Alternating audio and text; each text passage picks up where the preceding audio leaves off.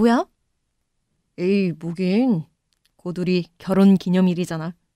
당신이랑 멋진 데서 식사하려고 내가 예약했지. 여기 통으로 빌렸다. 우리 다음 주에 가서 아무것도 신경 쓰지 말고 맛있게 밥 먹고 오자. 헐, 뭐야. 아, 이렇게 감동적이 있어? 돈 많이 썼겠다. 그까지 돈 얼마든 써도 상관없어. 내 마누라만 행복하게 해줄 수 있으면. 못 살아, 정말. 그럼 우리 어머님도 모시고 갈까? 에이, 우리 결혼 기념일인데? 어머님 혼자 드신 지 이제 1년도 안 됐는데 쓸쓸하실 거 아니야. 나한테 결혼 기념일은 남편이 생긴 날이기도 하지만 시어머니가 생긴 날이기도 한데 그니까 우리 어머니 모시고 가서 같이 먹자. 하여튼 착한 건 알아줘야 돼. 그래 그럼 엄마 모시고 가자. 엄마한테 잘해줘서 항상 너무 고마워. 내가 더 열심히 당신한테 잘할게. 직업에 외모에 재력에 뭐 하나 빠지는 거 없는데 여기서 더 잘하기까지 하면 어 세상 여자들 질투해. 나는 어쩌냐? 나는 이미 3대 도둑 반열에 들었는데? 으이그 하여튼 느끼한 멘트로는 못 따라가겠어. 아무튼 어머님한텐 내가 얘기할게. 그래. 이따 일찍 퇴근할게. 가면서 당신 좋아하는 꽃이나 사가야겠다. 슬슬 튤립 풀때 됐지? 별걸 다 기억해. 고마워, 여보. 잠시 후. 어머님! 음, 그래, 세아가. 무슨 일이야? 무슨 일은요? 그냥 어머님 보고 싶어서 전화했죠. 아이고, 하여튼 싹싹하기도 해라. 밥은 잘 먹고 다니지? 음, 그럼요. 저보단 어머님이 걱정이죠. 어머님 혼자 계신다고 식사 대충 하시는 거 아니죠? 그러시면 저 막 아무 때나 가서 검사할 거예요. 뭐 드셨나? 아이고, 그런 거 아니야. 나도 잘 먹고 있어. 신경 써줘서 고맙다. 어디 가도 우리 며느리 같은 사람이 없더라. 친구를 만나도 옆집 엄마랑 얘기를 해도 다들 며느리 욕하느라 바쁘더라고. 어머님이 워낙 잘해주시니까 저도 잘하려고 노력하는 거죠, 뭐. 그보다도 어머님, 다음 주에 저희랑 같이 식사해요. 토요일에요. 토요일? 그때 너희들 결혼 기념일 아니니? 네, 맞아요. 그이가 멋진 레스토랑 예약해뒀대요. 오랜만에 맛있는 것도 드시고 기분 전환도 하시면 좋을 것 같아서요. 아유, 너희들 기분 내러 가는데 내가 따라가서 뭐해. 난 그냥 집에 있을게. 결혼기념일을 부부가 보내야지 시엄마가 끼면 쓰니. 나도 그 정도 눈치는 있단다. 에이, 아니에요. 전 어머님이랑 같이 식사하고 싶어서 그런 건데 그이도 좋다고 했다고요. 아유, 걔야 지 엄마니까 그런 거고. 제가 그이한테 먼저 졸랐는데요. 어머님 모시고 같이 식사하자고요. 저 결혼 안 했으면 어머님처럼 인자하시고 좋은 시어머니를 어디서 만났겠어요? 그니까 그날은 저랑 어머님 기념일이기도 해요. 꼭 같이 가셔야 돼요. 아셨죠? 아이고, 못 살아. 에휴, 그래, 알았다, 알았어. 내가 우리 새아기 말빨은 못 이기지. 늘 나 챙겨줘서 고맙다. 늘 시아버지 그렇게 가시고 나한테 더 마음 쓰는 거 알고 있어. 항상 고마워, 우리 새아가. 별 말씀을요. 그럼 다음 주에 뵈어요, 어머님. 일주일 뒤. 짜잔! 아이고, 비싸 보이네. 아, 경치 장난 아니다, 여보. 경치도 끝장나지만 여기가 맛이 그렇게 좋대. 제일 맛있다는 메뉴로 예약 다 해놨으니까 들어가서 우린 먹기만 하면 돼. 잠시 후. 아참, 여보. 이거 나랑 결혼해줘서 고마워. 우리 10년 뒤에도 20년 뒤에도 행복하게 지내자. 헐, 어, 이거 다이아 반지잖아. 아, 뭐 이런 걸 다 준비했어. 아이고, 예쁘기도 해라. 아유, 잘했다, 성태야. 세아가 너 너무 검소하게 다녀서 나라도 뭐 하나 해주고 싶었는데 성태가 해줬으니 됐네. 지금은 세 번째 결혼 기념일이고 다이아 반지지만 서른 번째 결혼 기념일이 되는 날엔 당신만을 위한 집을 지어줄게. 궁전같이 예쁜 집. 그니까 계속 내 옆에 있어줘. 치, 진짜 감동 주는 건 뭐 있어. 고마워, 여보. 어머님, 괜히 죄송해요. 눈물 보여서. 아유, 아니다. 나한테 죄송할 게 뭐 있어. 너희들이 잘 사는 거 보니 내 마음 편하고 좋구만. 지금처럼 예쁘게만 살아라. 아니, 나는 다른 욕심 하나도 없어. 그저 너희들만 행복하면 그만이야. 우리 세아가 내 며느리 돼줘서 고맙다. 감사합니다, 어머님. 고마워, 여보. 자, 이제 얼른 먹자. 식겠다. 엄마도 드세요. 음, 그래, 그래. 어여 먹자. 한 달 후. 나 내일 출장 있거든? 가서 한 3박 4일 있다가 올 거야. 혼자 있을 수 있지? 치, 내가 뭐인가? 잘 있을 수 있지. 근데 무슨 출장을 그렇게 길게 가? 보통 가도 1박 2일 정도더니? 아휴, 요즘 우리 회계사무소 고객이 좀 줄어서 고객 유치차 가는 거지 뭐. 가서 비위도 좀 맞춰주고 고객으로 모셔오려면 시간 좀 걸리니까. 아, 원래 돈 많은 양반들 골프 여행이니 뭐니 그런 거 좋아하잖아. 에휴, 우리 남편이 고생하네, 고생해. 개인 사무실 여니까 뭐 수입이야 좋은데 너무 고생하는 것 같아서 마음이 좀 그래. 괜찮아. 그리고 나도 이게 더 좋아. 맨날 일 많이 해도 적게 해도 똑같은 월급 받는 것보다 하는 만큼 더 많이 벌 수 있어서 보람도 있고. 나 위해서 항상 애써줘서 고마워. 짐은 내가 싸줄게. 음, 아니야, 내가 쌀게. 당신 힘들게 뭘 그런 걸 해주려고 그래. 에이, 그래도 내 남편이 3박 4일이나 밖에서 자고 와야 되는데 내가 손수 챙겨줘야 마음이 편하지. 그래, 그럼 좀 부탁할게. 2주 후. 여보, 나 문상 가느라 오늘 집에 못 들어갈 것 같아. 갑자기? 양복은 있었어?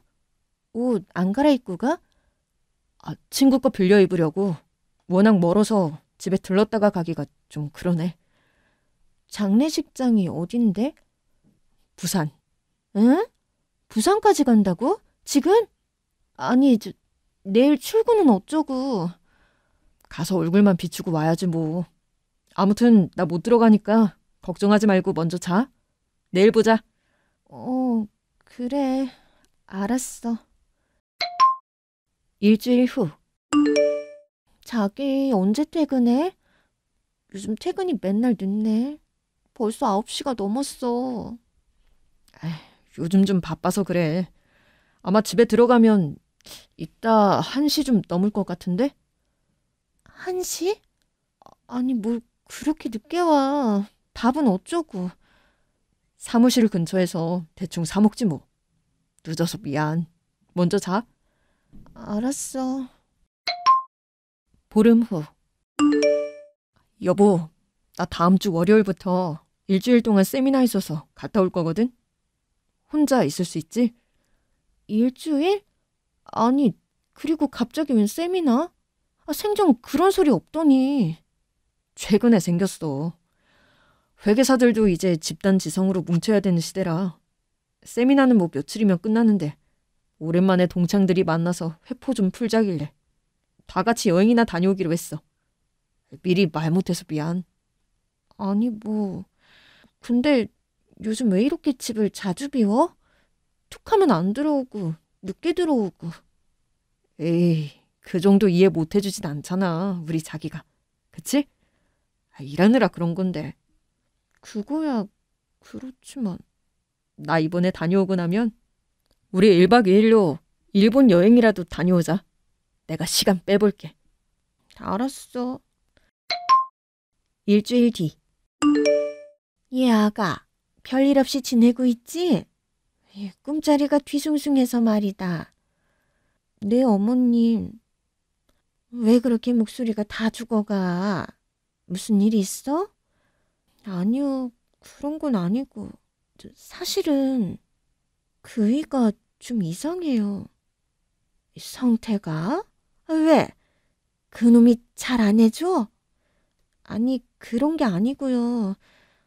잘해주긴 하는데 요즘 자꾸 출장도 가고 늦게 들어오고 저랑 얼굴 마주대고 말하는 시간이 하루에 30분도 채 안 돼요. 에그, 바빠서 그러겠지. 걔 총각 때도 한창 바쁠 땐 회사에서 먹고 자고 다 했었어. 그래도 결혼했다고 집엔 들어가나 보네. 음, 그래요? 그냥 갑자기 그러니까 좀 찝찝해서. 내 아들이라 하는 소리가 아니라 다른 남자들 다 그래도 걘 헛짓거리 할 놈 아니야. 그건 너도 알잖니. 그쵸. 저한테 얼마나 잘해주는데. 그래. 그니까 걱정하지 말고 내도 잘해줘. 바쁜 시기 지나가면 괜찮아질 거다. 네, 어머님.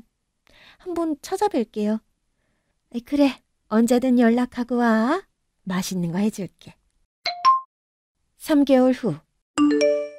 퇴근 시간 맞춰 사무실 앞에 깜짝 등장하면 엄청 놀라겠지? 오늘은 surprise로 데이트 나야겠다. 어? 여, 어? 저게 누구야? 여보세요? 응, 여보. 웬일이야? 아, 저기, 자기, 어디야? 나? 아직 사무실이지. 오늘 좀 늦을 것 같아. 아유, 할 일이 아주 산더미다, 산더미. 아, 그래? 누구 만날 일은 없고? 만나긴 내가 누굴 만나. 사무소 일로 바빠 죽겠는데. 내 걱정하지 말고 저녁 잘 챙겨 먹고 먼저 자고 있어.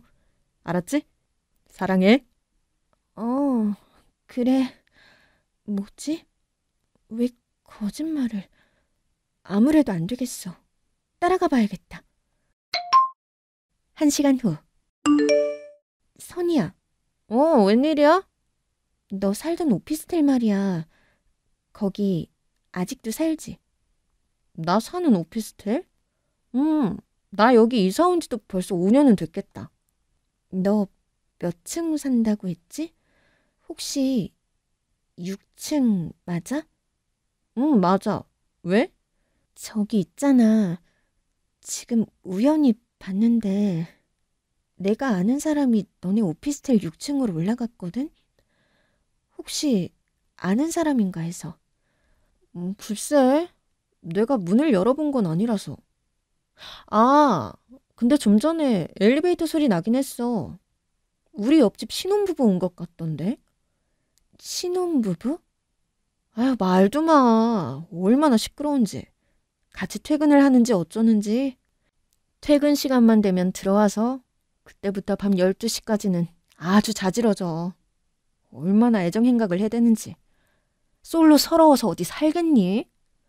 확실해? 신혼부부? 뭐 그러니까 같이 살지 않겠어? 처음 이사 왔을 때 여자가 인사도 왔었어. 와, 진짜 어리더라. 한 20대 초중반? 그 정도밖에 안 보이던데. 그래? 아니, 왜? 왜 그러는데? 아니야. 다음에 다시 연락할게. 며칠 후. 여보, 나 오늘 늦어. 기다리지 말고 먼저 자. 어, 그래. 나도 오늘은 친구네 집에서 자고 오려고. 어, 그래? 잘 됐네.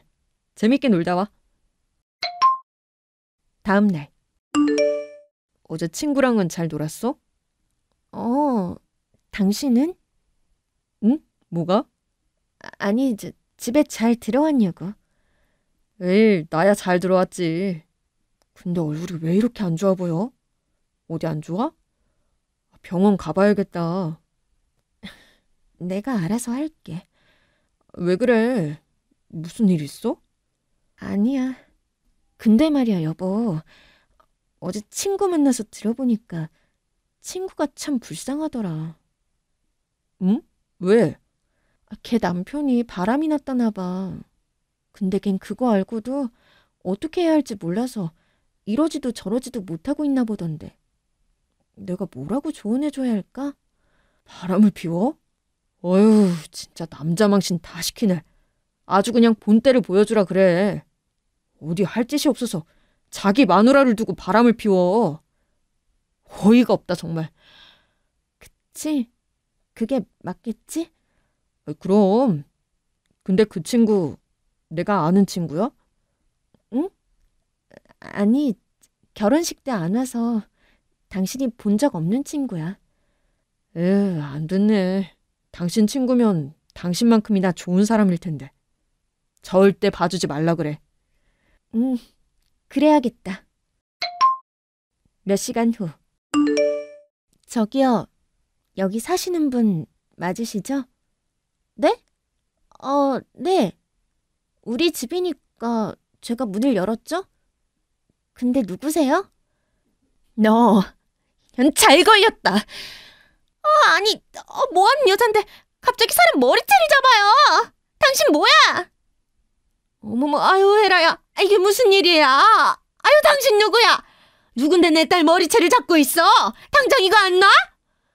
오호라. 당신이 2년 엄마 되는 사람인가 봐요? 딸 자식 교육을 어떻게 시켰길래 남의 걸 아무렇지도 않게 탐을 내지? 아무리 굶었어도 남의 거에 침 바르는 건 좀 그렇지 않나? 수치심도 없어? 아, 아 이거 놓고 얘기해. 놓고 얘기하라고. 그래, 놨다. 그럼 네가 한번 얘기해 볼래 이제? 새파랗게 어린 년이 왜 유부남 만나고 다니는지. 아, 유부남? 그게 무슨 소리야, 헤라야? 너 요즘 남자친구 생겼다더니 설마 유부남이었어? 아, 엄마 그런 게 아니라 나도 처음에 몰랐는데 만나다 보니까 아주 아무튼 아 근데 당신은 뭔데? 머리가 그렇게 안 돌아가? 그런 빠가사리 같은 머리로 어떻게 불륜을 저지르셨을까? 이 상황이 됐는데 내가 누군지 모르겠어? 설마 그래 그 설마가 정답이다. 회계사 양성태 그 인간이 내 남편이라고. 너 이리 와. 못돼 먹은 년 같은 이라고. 남의 가정을 파탄내? 아주 잠깐만. 저, 남편이 누구라고요? 양성태요. 양성태 회계사무소의 양성태. 저, 혹시 이 남자? 당신이 왜 내 남편 사진을 갖고 있죠? 엄마가 어떻게 그 사람 사진을 갖고 있어? 뭐? 야, 이년아. 이 남자는 엄마 애인인데 무슨 소리야? 네 남자친구라니? 아니, 무슨 소리야. 내 남자친구인데. 난 6개월이나 만났어. 난 1년이 넘었거든. 2년 이거 아주 밖에서 헛짓거리만 하고 다녔네. 아, 엄마! 왜 내 머리채를... 아니, 저 여자 머리채를 잡아도 시원찮은데. 아, 아빠! 머리채 좀 놔! 너나 나 어디서 치엄마 머리채를 잡고 있어? 아, 늙어서 주책맞게 뭐하는 짓이야?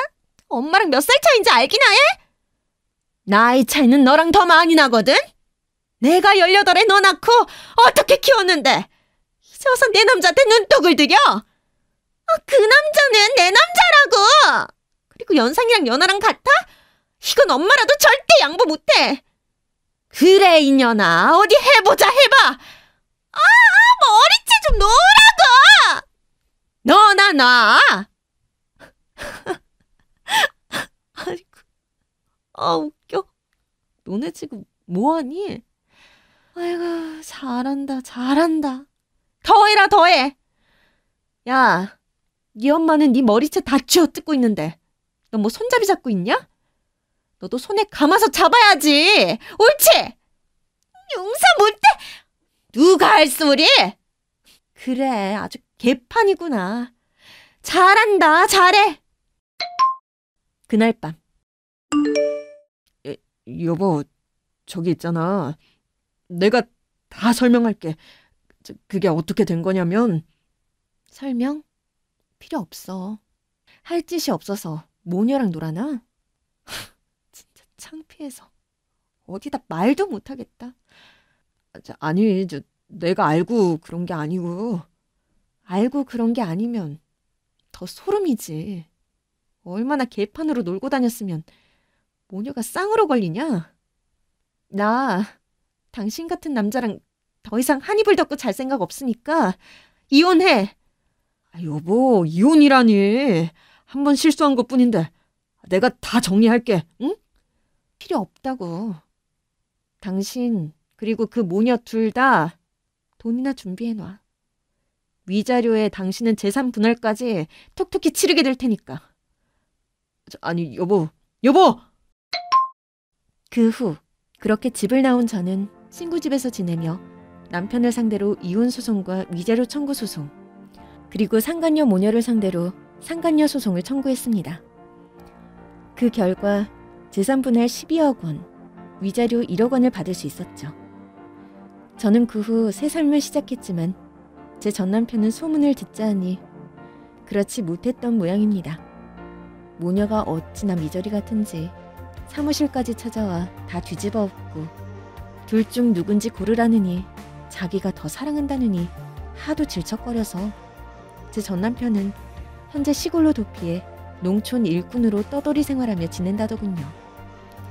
거지같이 하루 한 끼도 제대로 못 먹고 다닌다던데. 참, 그렇게 자상하던 남편이 알고 보니 남봉꾼이었을 줄 누가 알았겠어요.